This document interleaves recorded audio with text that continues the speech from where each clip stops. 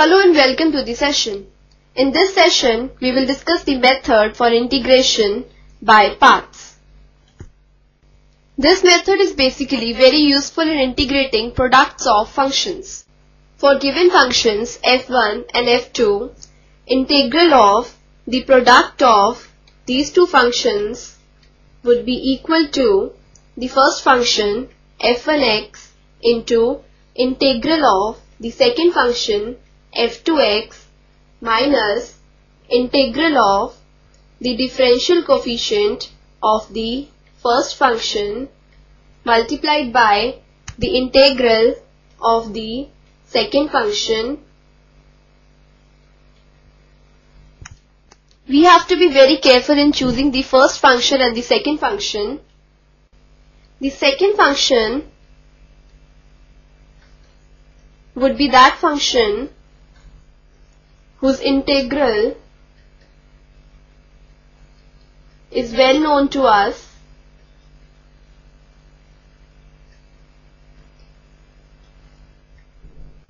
and if any function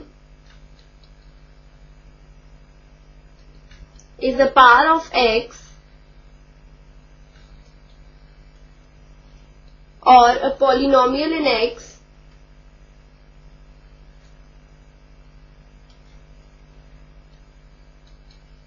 then we take that function as the first function.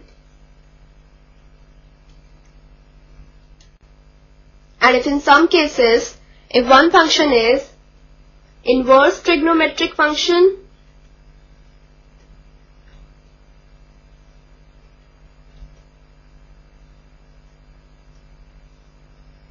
logarithmic function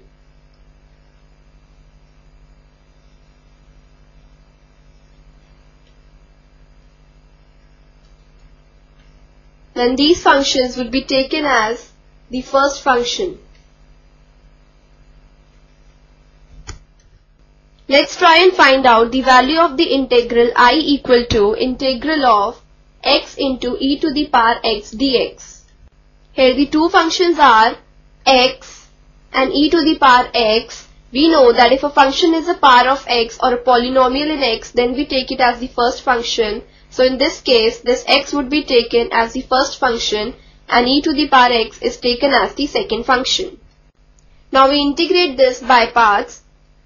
On doing this, we get the first function that is x into integral of the second function minus integral of the differential coefficient of the first function into integral of the second function. This gives us x into, now integral of e to the power x is e to the power x itself minus integral of differential coefficient of x would be 1 into integral of e to the power x is e to the power x dx which further is equal to x into e to the power x minus e to the power x plus c. Remember that we do not add the constant of integration to the integral of the second function. So this is the final value for i. Here c is the constant of integration.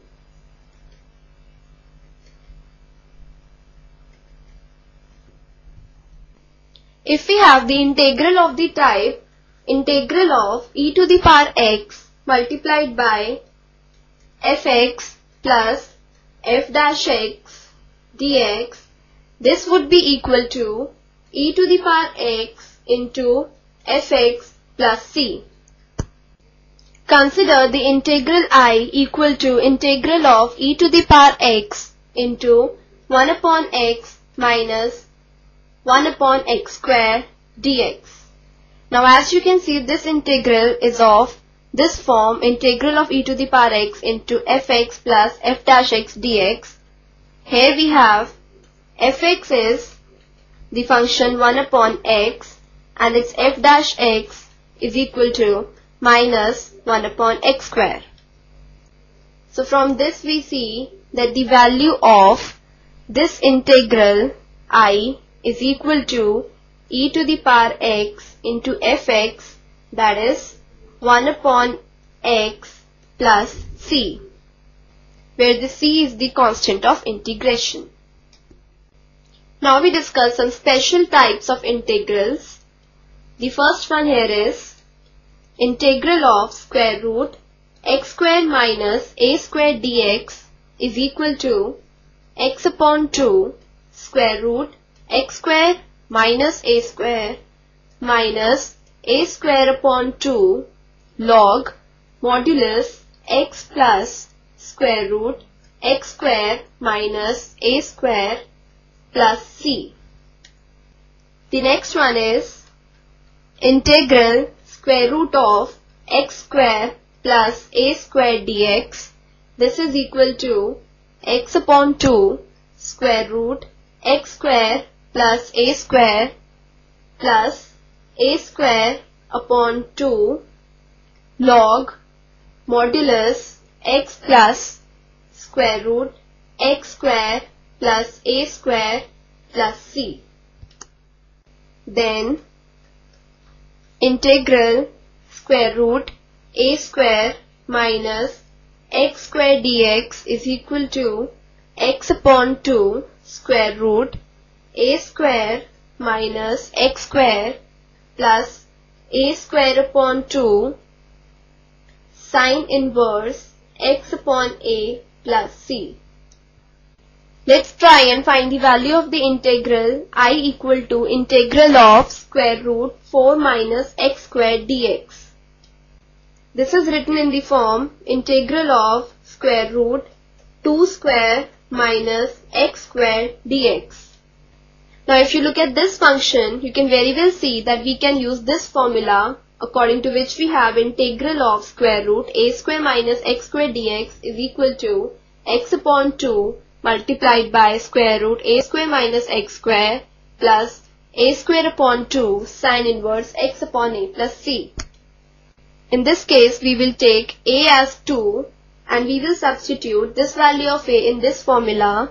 We get this is equal to x upon 2 square root of a square minus x square plus a square upon 2 sine inverse x upon a plus c.